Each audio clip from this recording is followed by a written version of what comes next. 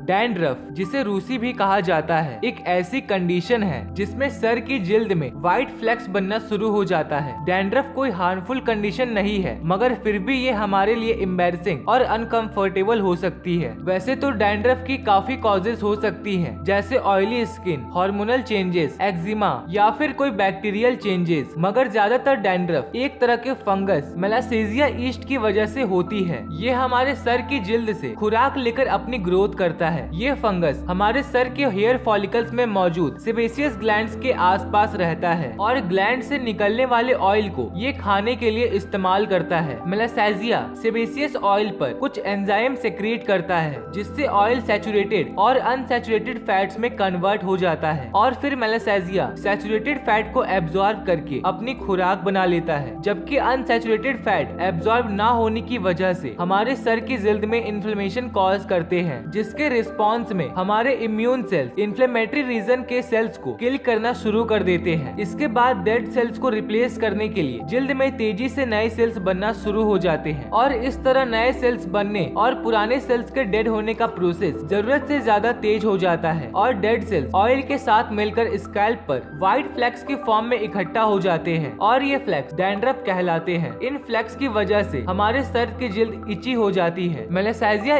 East की वजह से जो डैंड्रफ डैंड्रफ कॉज होती है। उसे सेबोरियक डर्मेटिसिस कहते हैं। ट्रीटमेंट क्योंकि ये ज़्यादातर फंगस के वजह से होती है। इसीलिए इसको ट्रीट करने के लिए एंटी डैंड्रफ शैम्पू ज़्यादातर एंटी फंगल केमिकल्स के साथ बनाया जाता है। जैसे की कीटोकोनाजोल जो की एक एंटी फंगल केमिकल है। इसके अलावा डैंड्रफ को ट्रीट करने के लिए सेलेनियम सल्फाइड का भी यूज़ किया जाता है, जो हमारे सर्द की जिल्द में नेचुरल ऑयल के प्रोडक्शन को कम कर देता है। इसके अलावा coal tar salicylic acid dandruff को ट्रीट करने के लिए यूज़ किया जाता है।